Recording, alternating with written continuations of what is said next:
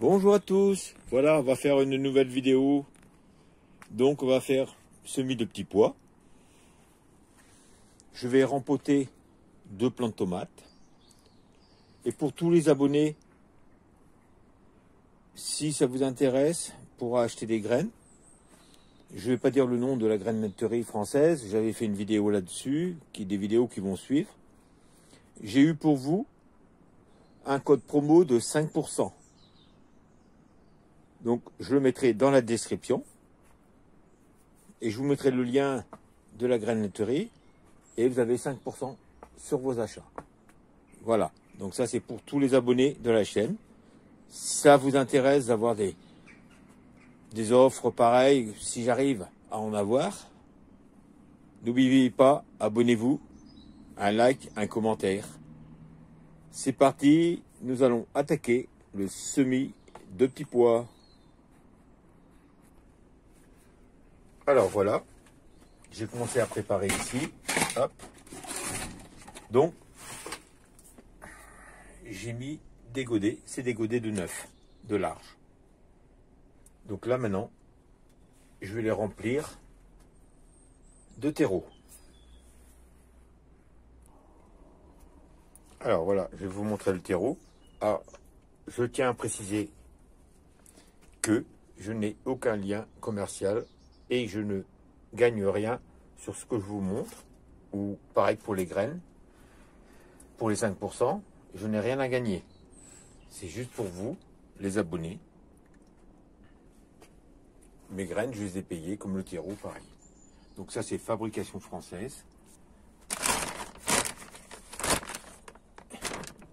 Voilà.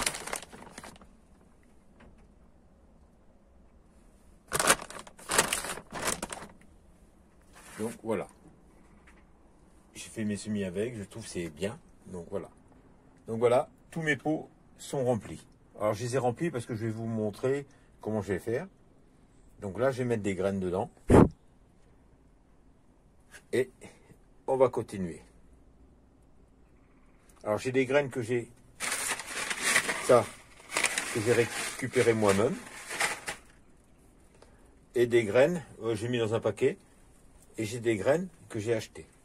Donc c'est parti.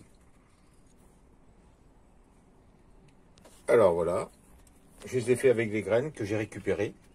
Donc pour l'instant, j'ai pas eu besoin de des graines que j'ai achetées. Vous voyez, je les ai mis comme ça. Comme ça, voilà. Hop. On fait ça. on recouvre légèrement. Par contre, quand vous récupérez vos graines, donc vous les laissez sécher un peu. Et après, ne pas oublier de les mettre au moins 24 heures au congélateur. Ce qui permet que si vous avez un verre qui meurt, parce que si vous les entreposez comme ça, sans vérifier, vous risquez euh, le verre, s'il se balade, bah, il, va, il va vous manger tout votre semence. Et après, quand vous arrivez pour faire vos semis, ils sont tous mangés. Donc c'est très important de le faire. Hein. Vous voyez? Hop, on va recouvrir comme ça. Par contre, il ne faut pas oublier, c'est qu'ils n'aiment pas trop l'eau, les petits pois. Donc, faut arroser, mais légèrement, simplement. Ah, vous voyez, hop.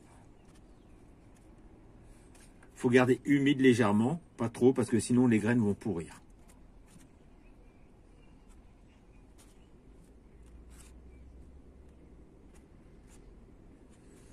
Et après, il faut recommencer. Voilà, de toute façon, j'en ai, parce que l'année dernière, je me suis fait avoir. Je les avais remis directement en pleine terre. C'était la première année où ça m'est arrivé. J'avais plus aucune graine. Donc des rats aux pieds ou je sais pas quoi qui, sont venus manger toutes mes graines. Comme pour les haricots blancs que j'avais fait haricots verts.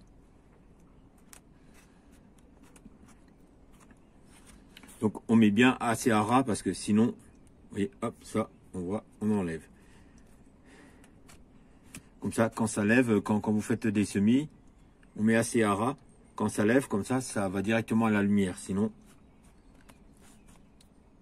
ça cache un peu la lumière et ça aura tendance à beaucoup filer.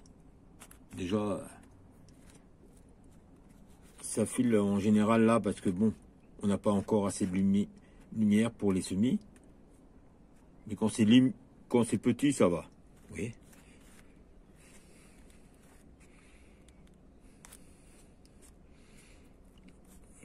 Je vais vous reprendre dès que j'ai fini. Alors voilà, j'ai fini, vous voyez. J'ai fait juste assez légèrement. Hein. Et après, légèrement, parce que, vous voyez,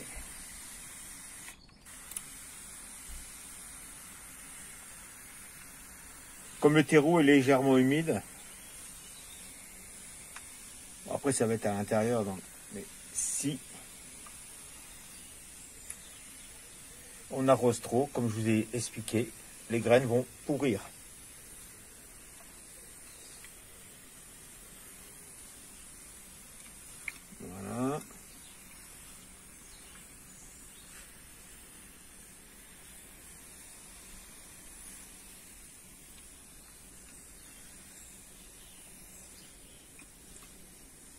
Comme ça va être à l'intérieur, ça va sécher beaucoup plus rapidement, donc il faut surveiller tous les plusieurs fois par jour, que ce soit pas trop sec. C'est comme euh, pour les tomates, les autres comme ça, les aubergines, ça, j'ai voulu garder juste une certaine humidité. Voilà, tout ça c'est fini. Une fois ça va pousser, on va laisser bien pousser. On va suivre les cultures. Là maintenant, voilà, ça c'est les tomates que je vais repiquer, vous voyez. J'ai ma troisième feuille. Et là aussi quatre. Donc, quand il y a ça, on peut les repiquer. C'est parti. Alors pour les tomates, vous voyez, j'ai pris des pots beaucoup plus grands, vous voyez, juste pour vous montrer un petit peu la différence. Voilà. Donc, comme ça, les racines vont bien se développer et sortir par là. Donc, c'est parti, on va mettre du terreau et on repote ça.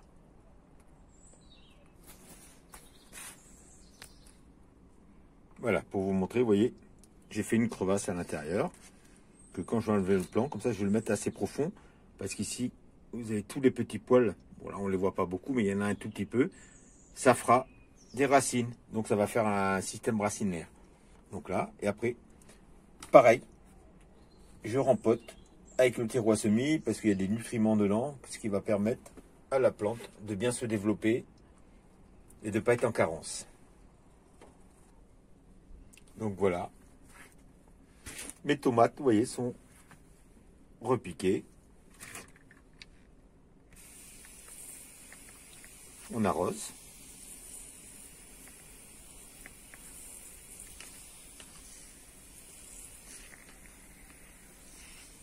Et on va les mettre à la lumière à l'intérieur. Comme tous les autres semis sont à l'intérieur. Hein. J'ai mis euh, aubergine, j'ai mis euh, sur le chauffage. Donc là, c'est sorti. Poivrons pareil. Mais là, je les ai sortis et je les ai mis devant une porte-fenêtre pour pouvoir qu'ils grandissent, surtout qu'ils grossissent et qu'ils fassent les autres feuilles pour pouvoir les repiquer. Comme pour les poivrons. Les oignons, j'en ai mis. Pareil le chauffage, ça commence à sortir et après je les enlève. Voilà. Donc je vais juste vous montrer les carottes. Le suivi de carottes. Et voilà, les carottes qui poussent, vous voyez. Bah, elles, sont toutes petites. Hein. Bon, on va les laisser. De toute façon, j'ai fait un plan pour ici, donc on va voir, vous voyez. Voilà, ça c'est les poireaux. Ils sont pas gros. Hein. J'arriverai à m'améliorer. Et ça vient des semis. Là, vous voyez, j'en ai d'autres, mais bon, ils sont pas... À l'extérieur, c'est pas la peine, ils sont morts. Ici, c'est des oignons. Vous voyez, fenouil. Betterave toujours. Vous voyez, j'en ai une autre là-bas. Donc après, je vais tout nettoyer pour bien engraisser avec le fumier qui est là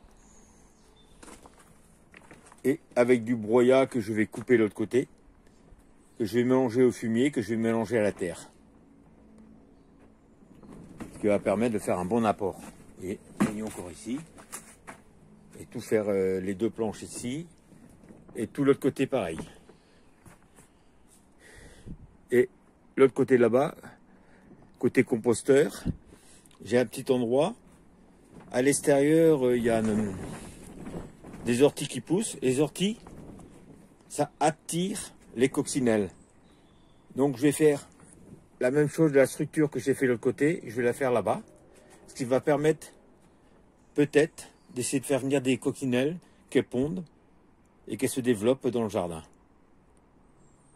Pour essayer de faire venir la biodiversité, comme ici, je vais mettre des fleurs. Si je vais essayer de faire des fleurs grimpantes que j'ai loupées l'année dernière, si ça peut fonctionner, si on a un été correct, on peut prétendre avoir des belles cultures. Voilà, je vous souhaite une bonne journée à tous. N'oubliez pas, dans la, description, pour tous les abonnés de la chaîne et les nouveaux abonnés, si vous voulez, allez-y. 5% sur une grainerie française. Allez, bye. À bientôt.